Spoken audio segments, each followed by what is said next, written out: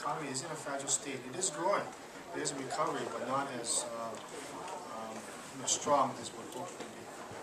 What about public worker pay though, if some of these reopening clauses or evergreen type clauses trigger? You know, we haven't heard back from the Attorney General, General's office right now on the impact of those uh, favored nation provisions right now. We're just happy that the teachers finally settled their contract, a six-year contract, and, you know, they're going to do, do the same as the rest of the public workers for the first two years, so that's, that's good.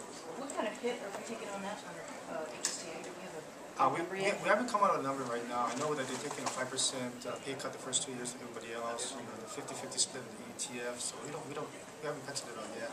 So we don't know the cost of that. Well, it's going to be in the out years, yeah. It's going to be in the uh, third, fourth, and fifth, and sixth year. I think it's on a performance-based uh, contract for the evaluation of each individual teacher. New EUTF numbers though, nine billion unfunded, is there a way out of this hole even, on this year?